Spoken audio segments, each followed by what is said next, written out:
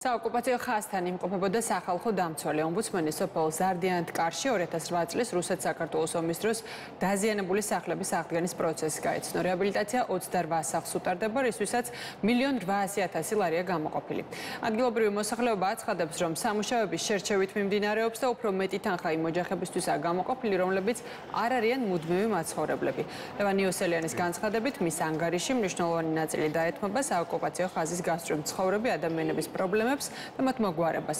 ომბუდსმენი ზარდიანთ კარის შემდეგ ერგნეთში, ჭვრინისა და ყარაფილაშიც ჩავა.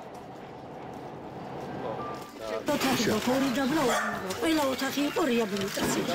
ეხლა ერთი ოთახი არ გააკეთეს, გარედან გალოსის კრიშა დააყენეს. აი ეხლა დაგათვალიერები საქმოხდნენ ამ სიაში ქალაქში მაცხოვრებლები რომლის პაპებსაც კი არ უცხოვრიათ აქ მიტოვებული სახლები. და უბრალოდ საწყენია ამ ხალხს ის წინს რომ მუდმივი მაცხოვრებლები არიან. ხალხს რო რაღაცა მოხდეს. ისევ ესენი დაზიანდებიან და დაზარალდებიან.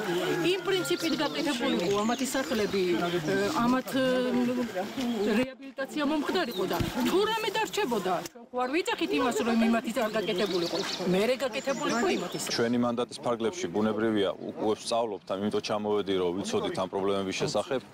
აა დამატებით დავინტერესდებით რა პრინციპით ხდება პრიორიტეტების განსაზღვრა, რა პრინციპით ხდება სამუშაოების შესრულება, რატომ არის რომ ზოგთან არის ნაწილობრივ შესრულებული, ზოგთან არ არის შესრულებული და ასე შემდეგ. ყოველ შემთხვევაში ეს ის ადგილია, სადაც მე ვთვლი რომ სახელმწიფომ კარგია ბუნებრივია რომ დაიწყო ეს პროექტი და ახდენს რეაბილიტაციას, მაგრამ პირველ რიგში მათ უნდა კონდეთ პრიორიტეტი მინიჭებული, ვინც აქ ცხოვრობს, ყოველდღე აქ არის